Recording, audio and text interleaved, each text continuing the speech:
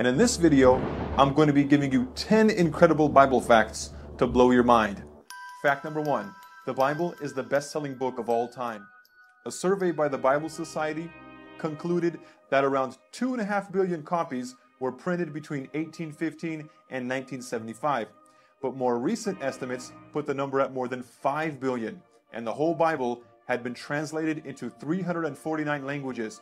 2,123 languages have at least one book of the Bible in that language. Fact number two the Bible was written over a long period of time by various men. The Bible was written over a 1600 year period by approximately 40 men. The time of the writing was from 1500 BC to AD 100. About 30 authors contributed to the Old Testament and 10 to the New Testament. These men varied greatly in their occupations. For example, Isaiah was a prophet, Ezra was a priest, Matthew was a tax collector, John was a fisherman, Paul was a tent maker, Moses was a shepherd, and Luke was a physician, to name a few. Despite being penned by different authors over 16 centuries, the Bible does not contradict itself. Bible scholars claim this is evidence that the Bible is truly inspired by God, as is claimed by 2 Timothy chapter 3 verse 16, which states, "All scripture is given by inspiration of God." Fact number 3, the Bible claims to be God's word. There are many books written about and by various religions, but the Bible is the only one which claims to be the actual Word of God. Those who believe the Bible also believe that God inspired various people through the years to write down His actual words for mankind. The Bible says more than 3,000 times, Thus saith the Lord. It claims that the words which follow are quotes from God. Fact number four Jesus did not author any books of the Bible. As a matter of fact, he wrote nothing in the Bible at all. However, there is an ancient letter that purports to have been written from Jesus. It is known as the letter to King Abgar. Abgar was a real king who ruled from AD 9 to AD 46 in what is modern day Turkey.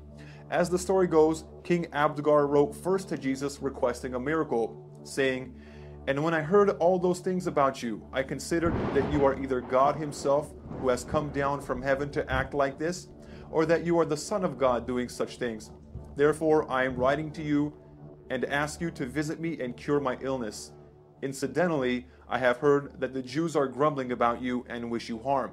I have a city, rather small but noble, and it is sufficient for us both. It is recorded that Jesus replied by means of a courier. He began the letter by a saying that is found in John's Gospel Blessed are you who has believed in me without having seen me. Jesus, according to his letter, declined Abgar's invitation because he had not fulfilled his ministry. However, Jesus wrote that he would send one of his disciples after his ascension so that he may cure your illness and give life to you and to those who are with you.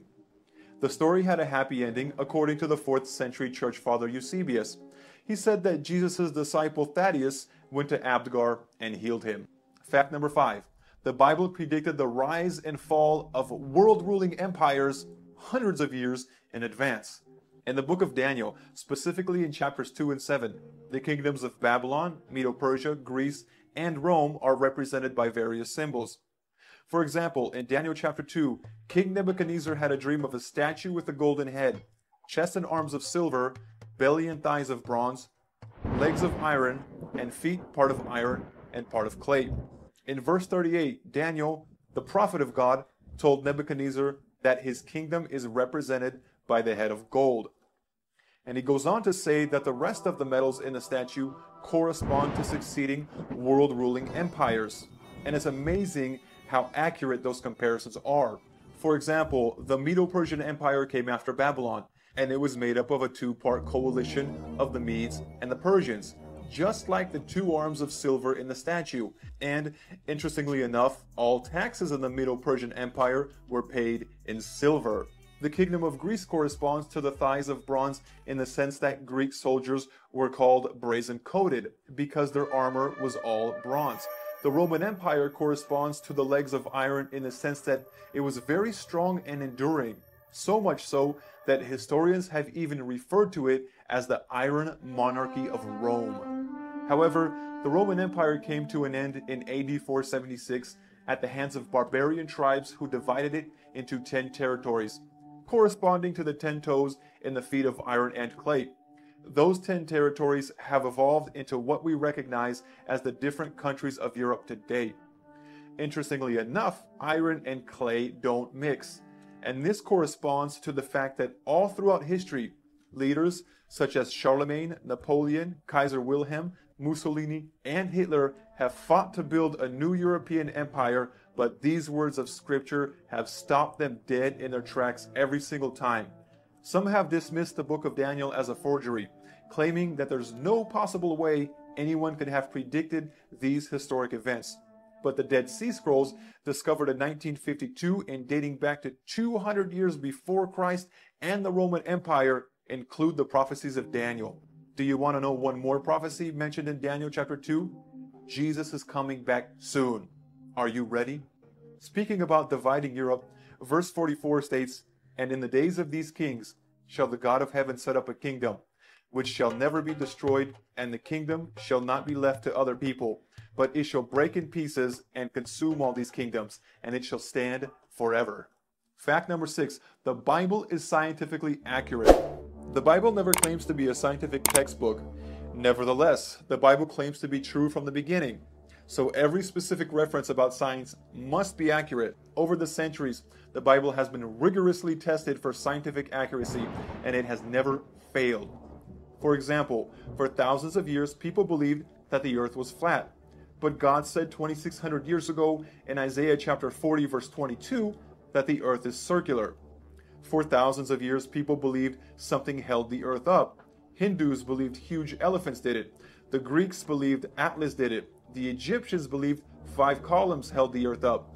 The Bible never says that anything is holding this planet up. For thousands of years, people believed that the number of stars were finite. But Jeremiah chapter 33 verse 22 says the number of stars can't be counted. Jonah chapter 2 verses 5 through 6 speak about the mountains of the ocean floor. Now just very quick, if it's your first time here on my channel, I would appreciate if you would like the video so that you can help me to continue spreading Christian messages. Subscribe and also click that notification bell so you won't miss any of the next videos that are uploaded every day. All right? Let's keep rolling. Only in the last century have we discovered that there are towering mountains and deep trenches in the depths of the sea. Genesis chapter 2 verse 7 says God created us from the dust of the ground.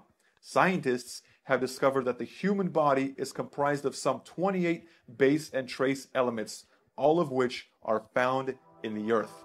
Fact number 7, the Bible is historically accurate the Bible has proven to be more historically and archaeologically accurate than any other ancient book.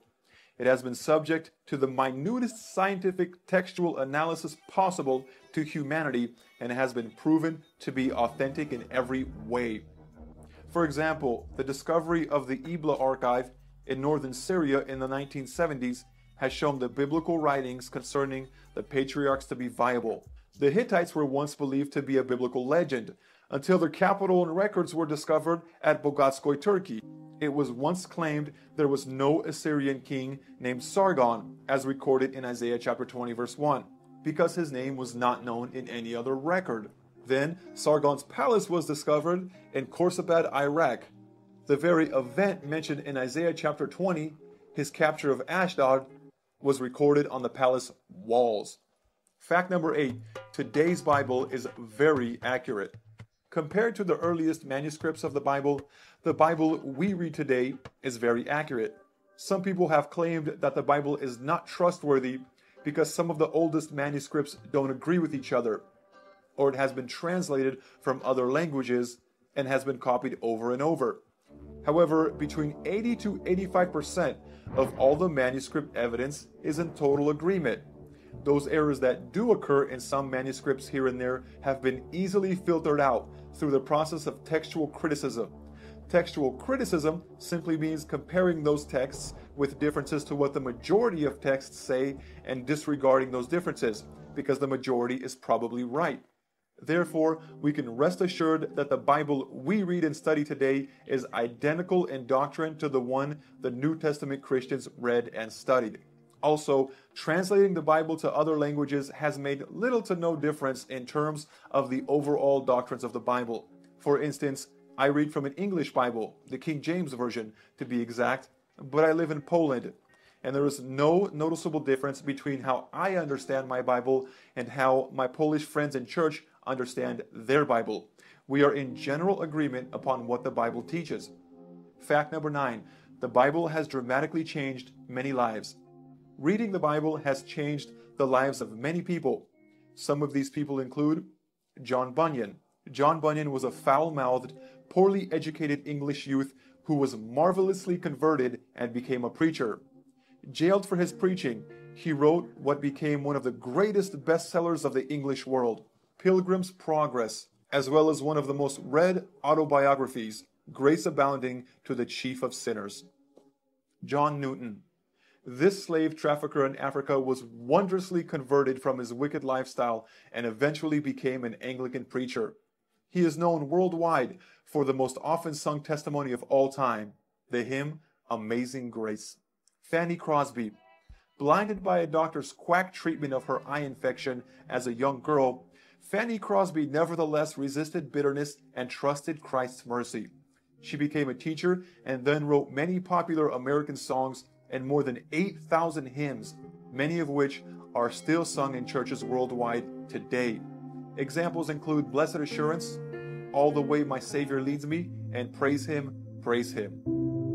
And myself, I led a criminal life revolving around drug dealing until my imprisonment in 2002.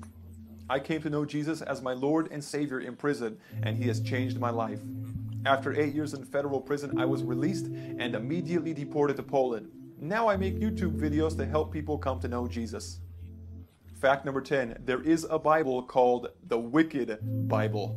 It includes a terrible typographical error in the Ten Commandments, omitting the word not in Exodus chapter 20, verse 14, which originally reads, Thou shalt not commit adultery. Therefore, the Wicked Bible reads, Thou shalt commit adultery the printers were fined 300 pounds sterling for their typographical error. The lot of 1,000 copies were ordered destroyed, but only a handful escaped destruction, making them the rarest of rare. There is one currently on sale for $99,500. Thank you for watching. If you enjoyed this video, please share it and subscribe to my channel. Feel free to check out my past videos on my channel page and like me on Facebook as well. I share more Christian content there. God bless. If you enjoyed this video, give it a thumbs up and share with your friends so we can keep making them. For more videos like this, hit the subscribe button and remember to click on the notification bell. Also, be sure to check out our other videos as well.